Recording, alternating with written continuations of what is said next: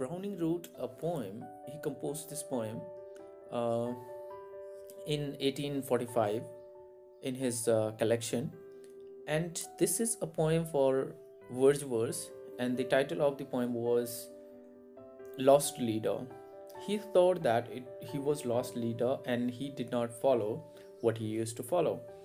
Wordsworth के बारे में उन्होंने कहा कि अब वो हमारे साथ नहीं रहे means there was tradition so we will be talking about that from an early as browning had been admire of the early works of Wordsworth इस चीज़ में हमें ये ध्यान देना है कि वर्ड्सवर्थ के पहले एडमायर थे ठीक है उनकी प्रशंसा करते थे as baker observes browning had sought to become Wordsworth radical successor and his attitude towards Wordsworth was a test model for a strong poet's quest for self definition against the overbearing predecessor.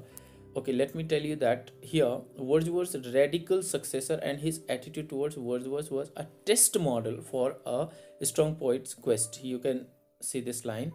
अब इस चीज़ को हमें देखना है कि उन्होंने काफ़ी praise की थी किसकी वर्ड्सवर्थ को ही admired him a lot and let's see the original text of the poem here okay here is the uh, let me let me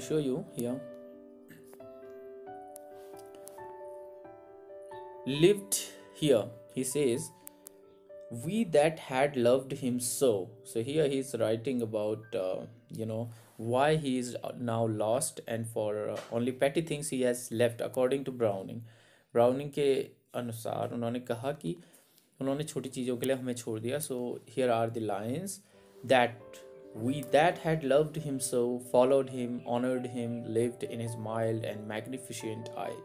Learned his great language, caught his clear accents, made him our patron to live to die. Okay, Shakespeare was of us, Milton was for us. So here he admires him, he says that we followed him, but now he left us. Now let's talk about this and where he went after letting them uh, you know do their jobs and he left them here and his attitude towards wordsworth was test model for a strong poet's quest for self-definition against an overbearing predecessor the poem's line we that had loved him so followed him honored him made him our pattern," just told you right this however we began to perceive wordsworth sliding into conservative politics.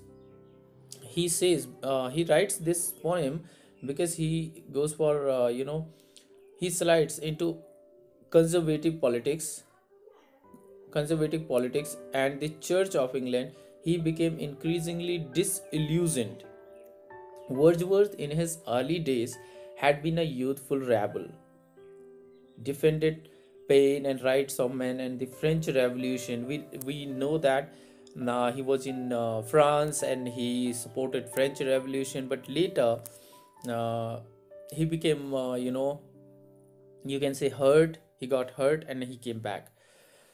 Being described by Coleridge as a semi-atheist. Now you can uh, see that Coleridge, Coleridge uh, defined him as semi-atheist. You should also write down this one, semi-atheist. Coleridge says to Wordsworth. Okay. So let's go through the poem and uh, we will be having a great idea about what Browning was writing for uh, Wordsworth. Okay. After reading this, and by himself as a patriot of a world, of the world. However, as England went to war against France, the condition in France deteriorated. The reign of terror came to be, and uh, Robespierre was executed, Wordsworth became disillusioned and, following and Coleridge, gave up his revolutionary dreams and settled to his life of a recluse and then he became lake poet. He came to Lake District. So let's read the poem and uh, I hope you will enjoy this poem. Let's go ahead. This is from Wikipedia. You can also check out this uh, poem there if you want or you want to you know download pdf there just for a handful of silver he left he left us just for a ribbon to stick in his coat, found the one gift of which fortune left us. Lost all the others, she lets us devote. They with the gold to give, doled him out silver. So much was there who so little allowed, how all our copper had gone for the service, rags were they purple.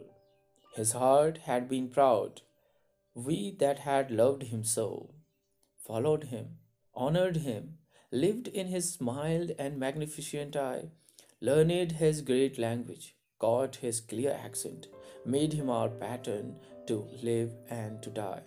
Shakespeare was of us, Milton was for us, Burns, Shelley were with us. They watch from their graves, he alone breaks from the ven and the freeman, he alone sings to the rare and slaves. We shall march prospering, not through his presence, songs may insp- inspire us, not from his lyre. Deeds will be done, while he boasts his cuisines, still bidding crouch, whom the rest blade aspire, blot out his name, then record one lost soul more. One task more declined, one more footpath untrod, one more devil's triumph. And here you can see one more devil's triumph. This is, uh, I can say, he has taken reference from his Paradise Lost, uh, Milton's Paradise Lost. Okay, and and sorrow for angels, one or biblical reference you can call it. One more devil's triumph and sorrow for angels one wrong more to man, one more insult to God. Life's night begins. Let him never come back to us. Let him never come back to us. There would be doubt, agitation, and pain, forced to praise on our part, the glimmer of twilight, never glad, confident. Morning again, best fight on well, for we taught him strike gallantly menace our heart, or we master his own, then let him receive the new knowledge and wait us, pardoned in heaven and first by the throne. Thank you for watching. Bye bye. Take care. Hope you enjoyed. Good luck for.